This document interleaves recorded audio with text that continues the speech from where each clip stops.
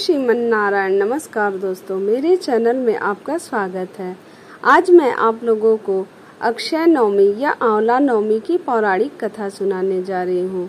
इसलिए आप लोग मेरे वीडियो में अंत तक बने रहें, वीडियो को स्किप ना करें और जो लोग मेरे चैनल पे नए हैं, उनसे मेरी विनती है कि चैनल को सब्सक्राइब कर लें।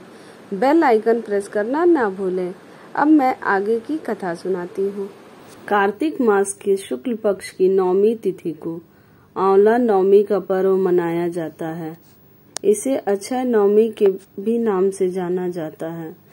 आंवला नवमी के दिन व्रत रखा जाता है, साथ ही आंवले के पेड़ की पूजा भी की जाती है। ऐसा करने से सभी पापों से मुक्ति मिलती है और कष्ट दूर होते हैं। इस दिन महिलाएँ आंवले के पेड़ के नीचे बैठकर संतान प्राप्ति और उनके अच्छे स्वास्थ्य के लिए पूजा करती हैं। इस दिन आंवला के पेड़ के नीचे बैठकर भोजन भी किया जाता है। आंवला नवमी के पावन दिन व्रत कथा को सुनने का भी विशेष महत्व है।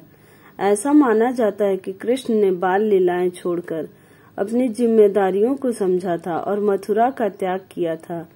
इसलिए उस दिन को आंवला नवमी के रूप में पूजते हैं। सुबह सुबह स्नान करके नए कपड़े पहनकर या तो आप कार्तिक स्नान कर रहे हैं तो गंगा स्नान कर लीजिए। उसके बाद आंवले के पेड़ के नीचे बैठकर उसकी पूजा की जाती है। इस दिन आंवला के जड़ में, गंगा जल में कच्चा दूध मिलाकर अर्पित किया जाता है। इसके साथ ही फूल माला सिंदूर, अक्षत आदि लगाने के साथ भोग लगाया जाता है। पेड़ के नीचे बैठकर भोजन किया जाता है। इसके साथ ही तने में कच्चा सूत या फिर मौली आठ बार लपेट सकते हैं और उसकी परिक्रमा की जाती है। पूजा के बाद व्रत कथा सुनी जाती है और आरती भी करते हैं। इसके अलावा महिलाएँ व्रत भी रखती हैं। आंवला नवमी के दिन दान पुण्य का अधिक महत्व है। माना जाता है कि कार्तिक मास के शुक्ल पक्ष की नवमी तिथि से लेकर कार्तिक पूर्णिमा तक भगवान विष्णु आंवले के पेड़ में विराजमान रहते हैं। इसलिए अक्षय नवमी के दिन विधिवत आंवले के पेड़ की पूजा करने के साथ इसकी छाया में बैठकर भोजन करना शुभ माना जाता है। इस दिन आंवले के पेड़ की पूजा करने के साथ 108 बार परिक्रमा करने से सभी मनोकामनाएँ पूर्ण हो जाती हैं। अब मैं आप लोगों को आंवला नवमी की कथा सुनाने शुरू करती हूँ। बोलो, जय श्रीमन नारायण काशी में एक निसंतान धर्मात्मा वैश्य रहता था। एक दिन वैश्य की पत्नी से एक पड़ोसन बोली, यदि तुम किसी पराये लड़के की बलि भैरव के नाम से चढ़ा दो तो तुम्हें पुत्र प्राप्त होगा। यह बात जब वैश्य को पता चली तो उसने अस्वीकार कर दिया। परंतु उसकी पत्नी मौके के तलाश में लगी रही। एक दिन एक कन्या को उसने कुएँ में गिराकर भैरव देवता के नाम पर बलि दे दी। इस हत्या का परिणाम विपरीत हुआ।